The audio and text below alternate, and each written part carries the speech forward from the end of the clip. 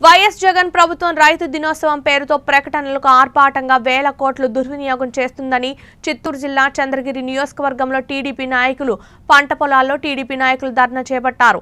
రైతులను దగా చేస్తూ రైతు దినోత్సవం జరుపుకోవడం సిగ్గుచేటని టీడీపీ నాయకులు విమర్శలు చేశారు. పరిపాలన చేతగాని సీఎం! రైతులను దగా చేస్తున్న ప్రభుత్వం. నారా లోకేష్ గారి నాయకత్వం. రైతు దగా ప్రభుత్వం.